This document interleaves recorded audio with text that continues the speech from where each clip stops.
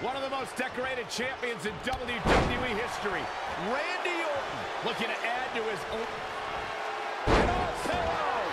And we are done here. This is from out of nowhere. RKO! Ah, what a decisive victory for Randy Orton. Incredible.